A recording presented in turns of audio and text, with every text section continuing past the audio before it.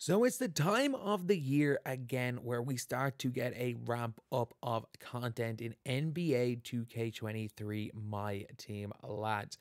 And there is a precedent that has pretty much been set from last year that I would be extremely surprised if 2K move away from it. In an ideal world, we will get moments cards the day after they well played the game. That is something that in an ideal world we would do. It will give us a grand total of about 20 to 30 moments cards a month and a new card every single day, as well as, well, that just brings hype into the game because we all kind of know that. From looking at the uh, season three set, the fact that there were season three cards every day, a lot of people were getting more excited. It was getting a lot of people playing the game. And I do think that giving consistent shorter grinds is always the way to go. But as we know, 2K have been on vacation the last week. So if we look at last year, so if we go to NBA 2K22, there was a card, a DeMar DeRozan um, Opal card, who came out on January the 7th. If we look at the date of January the 7th, that is the equivalent of this week. I am not 100% sure whether they're going to drop everything on Friday. It might take four or five days for 2K to actually be able to implement this. But if we look at the way Moments of the Month was last year, this was like a really cool concept where it was like you would just get all five of these rubies from playing the game. And then you would be able to, once you got all these rubies, you would do like a challenge. Say it was like 75 points in X game mode. And um, will give you like Gafford, something will give you Metu, one will give you Noel. Then you would complete challenges with all of these guys based on their moments game. And you would go and then get, you work your way up. And then work your way up to diamond, work your way up to pink diamond, and then eventually at the end of it, all going and getting yourselves a DeMar DeRozan card, which was cool. I found that to be extremely, extremely cool. I thought as a concept that was really good and it worked well. But is it the most ideal way of running moments cards? No. Again, the most ideal way is for it to be every day. The second most ideal way would be to have moments of the week and have them updated weekly because there are issues that come along with moments of the month. First of all, an issue with moments of the month is that cards that come out or card games from you can see here like 12th to the uh, 22nd or the 12th, first to the first, 31st to the 12th. Like there are situations where you're like, this game here was on the 8th to the 12th, the 8th of December, a Daniel Gafford game. These cards came out the 7th of January. People will have forgotten what the hell happened a month prior, whereas people won't have forgotten what happened the day prior, for example, or even a week prior. For example, Matt Ryan.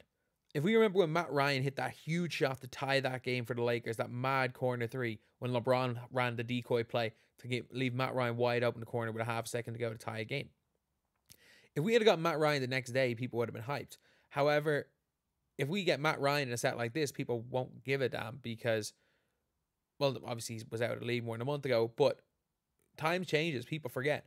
And that's one of the things that I will show with this picture everyone seemed to forgot about Jokic's um, Christmas Day game. He had the greatest performance in uh, Christmas Day history. Like 45, or was it 41, 15, and 15? The greatest Christmas Day performance, arguably, in the history of the sport.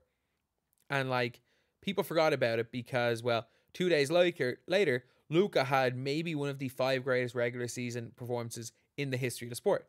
Because that happens. Just like Pascal Siakam going and scoring 53 points and being second in the all time leading scores with Raptors, got completely outshone by other guys just doing other stuff. So if they do give us a moment in a month, it's highly likely we do see a Jokic, we do see a Doncic, and we do see a Siakam. But other than Luka Doncic's game, which is like historically good, a lot of like general NBA fans that aren't maybe Raptors fans might not even remember, might have even had such short memory that they've forgotten the Pascal Siakam one. And that's kind of the situation that that's my opinion on it. But we're probably going to get moments in a month. Why? Because it is a smart thing for 2K to do. Because as we know, 2K have gone on vacation. The last um, moments card that we got all year was Andrew Nembhard. Like, we have not seen a moments card in my team since the 6th of December. We have, we'll, we'll be going over a month without seeing a moments card. So for that reason, you gotta do something. Doesn't have to be anything crazy, but like they gotta do something. And I think that if they want to keep moments in a month, I think that the the way they implement the moments in a month last year works perfectly. I would moments in a month is significantly better than moments one day a week, like we've been seeing. Like we've we see have only seen this year, um, eight moments cards, and the NBA season has already been like what's it, twelve weeks or something. So in twelve weeks, you've only seen eight moments cards, which is a pathetically low number of moments cards. So moments in a month is significantly better than what they have been doing. Absolutely better. There are better alternatives, but significantly better. But if they do bring out a concept like this, we could see five pink diamonds. Or even maybe we could see them work in a way that it's multiple opals. Because they've been a lot more like trigger happy in terms of not only giving us opals in packs, but also giving us um free opal uh, grindable opals and like free grindable pink diamonds. They've been a lot more willing to give us these free grindable cards because let's be real, they could give us a opal Luka Doncic and an opal Nikola Jokic those first of all, those guys aren't going to be pack sellers this year because they both kind of suck right now until eventually 2K gives them like a quick release. They're both going to be sitting here on normal release timing and be bad cards. So 2K are going to give these two guys NBA fans. Luka might be the most hyped NBA player right now. He's going to be the face of the league very soon. He already is the face of the league in an entire continent for Europe. It's obviously it's Steph Curry in a lot of the world. Um, in America, I don't even know. Might still be LeBron, but outside of that, it is this Luka fella. But what they're gonna do is they're gonna if they go and give these two as Galaxy Opals, the amount of players that they will draw in from that will be nuts. Again, they would have drawn in more players had they given Luka Doncic out the day after his big game, but they they have been on vacation the last month, and that means we gotta expect a lot. The guy, the devs have taken a month off. They've taken a month off. In terms of the hours they work, well deserved. But when they're back, we have to expect something big. We have to expect a lot. And a concept like this would bring a lot of players into the game.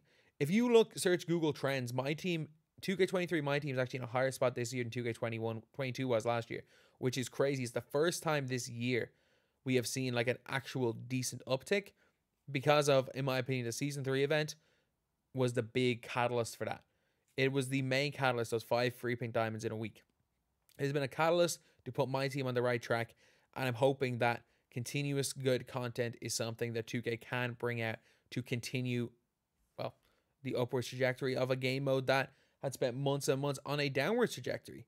So anyway, yeah, that is the video. Let me know what you guys think. Shout out to um, Central for making these designs, and I will probably use these two cards. I'll probably use some of the cards in a thumbnail. Um, I don't know, well, thumbnail. I might just use this picture. Shout out to him um for this. And anyway, that's the video. Thank you guys for watching. Please like, comment, and subscribe.